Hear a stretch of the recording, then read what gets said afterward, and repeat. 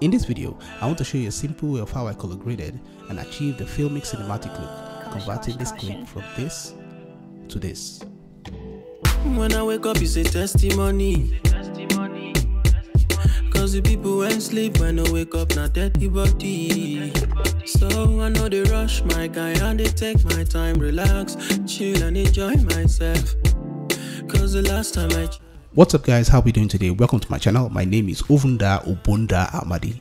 So I shot a video sometime last year in London during the Notting Hill Carnival with my Blackmagic camera, the Sigma Art 18 to 35 lens. I shot 6K 60 frames per second Blackmagic RAW. So this video is just a simple tutorial of how I could achieve a filmic cinematic look on DaVinci Resolve. So let's hop in, let me show you what I did. Alright guys, so the first thing I did was import the clip into DaVinci Resolve. So this is DaVinci Resolve and this is the clip. Uh, the first thing you notice is that it's all like almost like black and white. It's flat.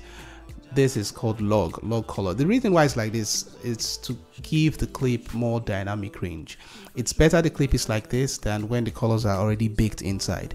So in a flat clip like this, you'll be able to push the colors exactly the way you want from scratch and um, so this is what the Blackmagic raw film clip from the camera looks like flat like this. So um, what I did was go to the to the edit editing tab and um, the first thing I did was to create nodes and in the third node I put in a color space transform. Um, in the input the, okay the color space transform is like it helps to convert a log footage to Rec 709. Rec 709 is now the normal color that you see with your eyes, what it looks like without being graded, just normal clip. So, but in the log, in the color space transform, what I did was in the input color space, I put um, Blackmagic Wide Gamut uh, 4, over 4 over 5. In uh, output gammas, gamma, I put Blackmagic Film Gen 5. Reason is because I shot film uh, Gen 5 then um, output color space Rec 709 and output gamma I put Cineon film log. I usually put gamma 2.4 but in this situation I intend to put uh, film LUT after the color space transfer node transfer node.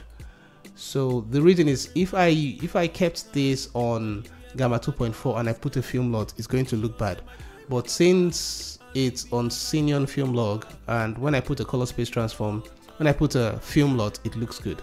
So this is what this is what it looks like after converting from Rec 709 from log to Rec 709. This is log to Rec, Rec 709. Now you have some colors, but we are going to push it a little bit further. So after the color space transform, what I did now was to put a film LUT. Now let me put in the film, let me turn on the film LUT. This is it. So this is the film LUT from from flat to film LUT. This looks good. This is this looks good, but this is not the final look I want. I wanted I want to add some things and push some things to make it look a little bit different. A little bit better in my opinion. So after I put in the color space transform and the LUT, before the color space transform, I now had to put a curve uh, just just a slight slope in the curve. This is what I did.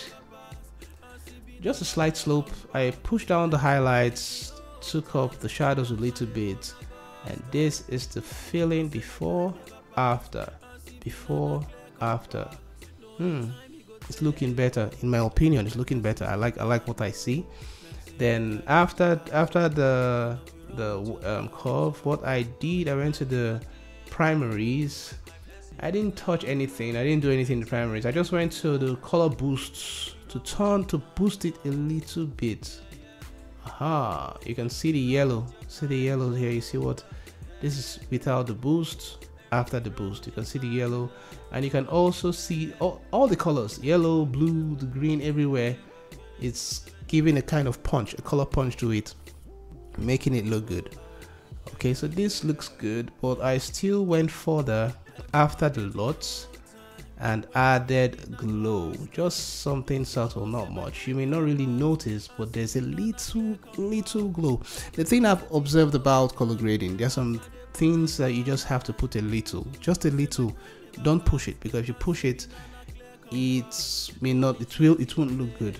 You understand? Just put a little. And the funny thing is the final combination of everything you put in is what's it's what looks good so just to glow a little bit i can see it but um, you may not be able to see it but i can see the glow. I know what i know what i want.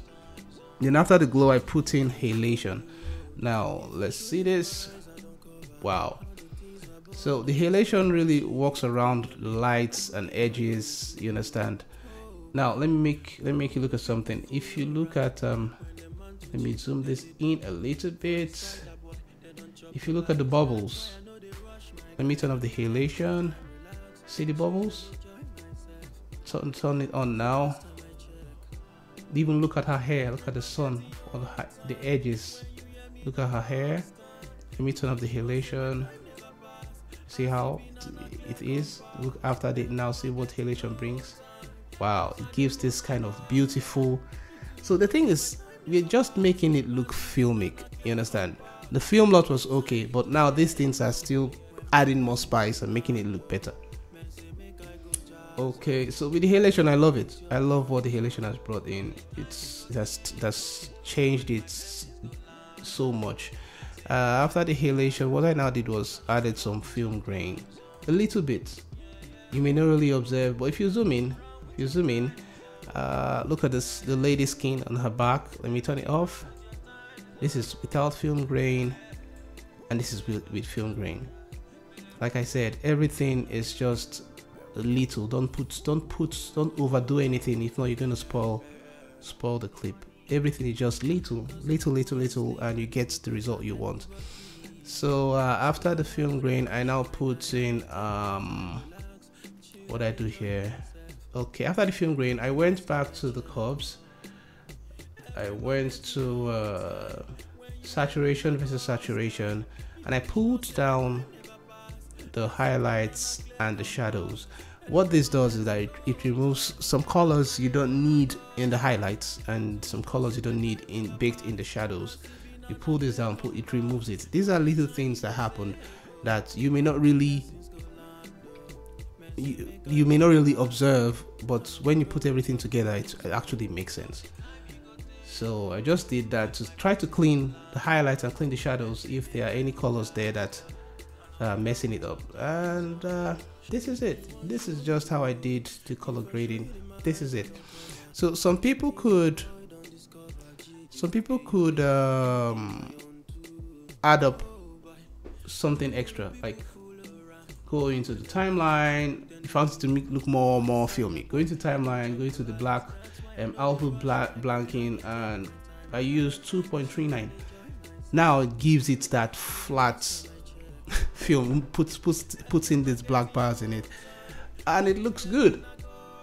So this is an option. So the thing is it just depends on what you want. Let me show you the, what this looks like. This is it now. So the thing is it, it, it, all depends on what you want the things you want to add to your clip you understand and try to uh, create what you visualize in your head.